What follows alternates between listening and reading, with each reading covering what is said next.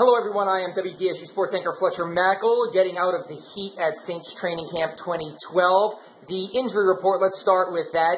Nick Toon, the rookie wide receiver, out six to ten days with a foot injury that happened yesterday at practice. We showed you that play during our newscast on Thursday. Also out for this Sunday's game uh, against the Arizona Cardinals, the preseason Hall of Fame game.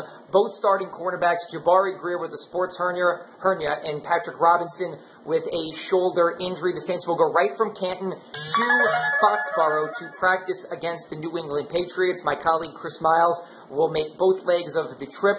First for the induction of Willie Roaf, then the Hall of Fame game, then for the practices and preseason game against the Patriots. Coming up in later newscast today, we're going to hear from Saints' first pick, Akiem Hicks. He was the third round pick. The Saints didn't have a first or second round draft pick. His first day in full pads. Hear what Joe Vitt says about him.